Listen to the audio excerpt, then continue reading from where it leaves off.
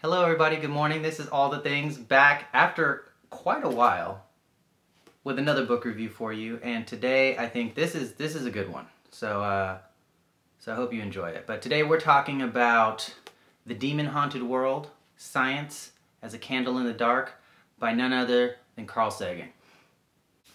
So this book is written by Carl Sagan, who is an incredibly smart person, or he was an incredibly smart person, rest in peace Carl Sagan, and uh, he was into physics and science and the way the planets moved, and he's done a lot of really great things for humanity, and one of the things that he did, which I think is incredible, is he got really into his field, he got really smart in his field, but then he made time to come back and explain stuff to people in everyday terms. And this book is one of the books that Carl Sagan has written in order to do that. Now, The Demon Haunted World is a book that's about science, but it's not a textbook. It's not a difficult book with all these crazy concepts going above your head and whatnot. It is a book about the idea of science, the importance of science, and why we should use it. And what I really love about this book, it's called The Demon Haunted World because it kind of compares science and why science is good and how it helps us to live in a world of logic where things have reason and if we don't like something, that's not really important or as important as whether or not it's true. And it contrasts that to when people are thinking kind of without science and we believe stories and we make things up and not everything's true and why those two worlds can exist at the same time because different people believe different things, but why it's not always good to just believe things, why it's good to think through things, why it's good to test what you think. And if your test fails, then get a new idea. Don't just keep the idea because you like it or because you're being pressured to keep it. And it goes through this book, it talks about something called a baloney detection kit. And a baloney detection kit is basically like, uh, some people call it BS. Um, but baloney is like, ah, that's not true. That's baloney. Um, and this book gives you a lot of tools, which I think are part of scientific thinking and part of the scientific method. They're like, beware, this is a trick that can get you if you're not careful, where it helps you with sometimes arguments that are cleverly worded that it may be hard to tell whether or not it's true or false or if it's something that's even provable as far as thinking straight and making sure you're getting to the point and not getting confused and going off on tangents and losing the the way of finding the real answer. So the thing above all that I love about this book, I feel like it's very accessible to everybody. It um, it doesn't talk too high-minded and it doesn't use too many crazy words. It gets into the history of mankind and some of the fallacies that we've fallen into which is really great. It gives you real world examples.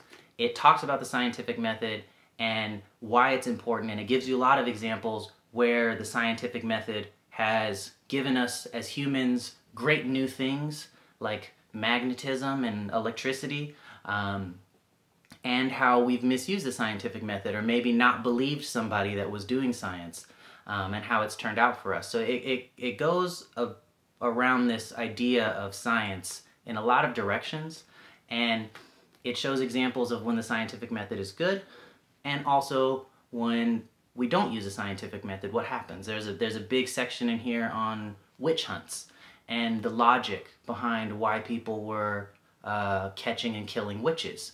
And when you really look at it objectively and you're not looking at it with a belief system, you're not looking at it with pressure from people trying to force you to act a certain way.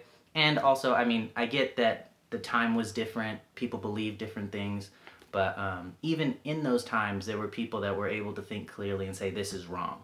And why were those people able to say this is wrong when lots of other people were not able to say that? Um, or they didn't say that.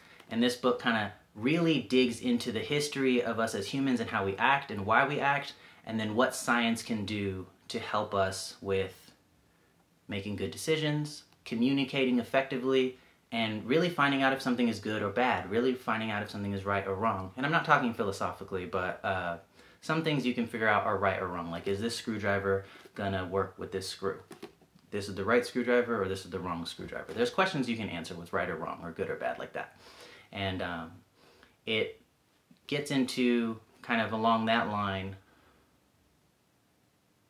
that science can answer certain questions, but science cannot answer other questions like philosophy questions.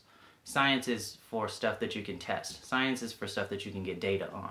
And um, it really gets you so many good examples of how to use it well, how to use it badly, what's happened when people have used it this way or that way, hoaxes like uh, crop circles. It talks about crop circles. It talks about it talks about uh, the Salem witch trials. It talks about McCarthyism. That was like uh, during the the Red Scare when communism was the thing, and it was like, oh, you're a communist or you're a communist, and like when they were putting people on trial for being um, communists and stuff in the United States, and like how that thinking starts to happen when you don't think clearly and logically all the time. Um, it talks about flat Earth a little bit, and just these kind of things that are non-scientific, but how do they come about? And why do people believe in them? So that we don't just yell at people and say, hey, you're wrong, you're dumb, why you think that? But really, you, you, you think that's right from what you say, why is that? And that's even the scientific method, like really trying to understand, trying to listen, trying to observe so we can get to the right thing, not just judge things based on our feelings or based on what we want. So um, the book is by Carl Sagan. This dude is a good dude. I think you should look into him if you haven't. He's done a lot of great things for humanity. He's one of the great humans in my book. Um, I didn't write a book, but like my metaphorical book. Um, but the book is The Demon Haunted World Science, A Candle in the Darkness, or Science, A Candle in the Dark, sorry, by Carl Sagan. This book comes on audiobook in case you want to listen to it in the car. This book has so many things that you just, when you listen to it, you got to think about it, and it really helps you put stuff in order. And it gives you what I was talking about earlier an actual baloney detection kit. It lines out ways that people fall into thought traps or th bad thinking. And if you can get those down, then it really helps you say like, wait a second, that doesn't really make too much sense. Can we back up the way that was said? Um, I'm not sure if I'm okay with that. And sometimes the way something is said has a lot to do with is it true or is it false? Not necessarily what is said, but the way it's said. And so this there's a lot of subtle things and a lot of different angles that this book goes over. It's so I I really can't rec- recommend this book enough. So um, once again, The Demon Haunted World by Carl Sagan. I would say um, if you were to read one book in the next 10 years, probably between this book and the Jordan Peterson book, uh, 12 Rules for Life, that's a good book. But this, this book really like science I think is so important and I feel it's, a lot of people think it's like you gotta be a genius to do science or you gotta be, have a lab coat and be mixing chemicals to do science. Science is a way of thinking. And this book really helps hammer out what the scientific method is, what the scientific idea is, not how to do this type of science, how to do that type of science, but how to think. How to think. And so I think it's great.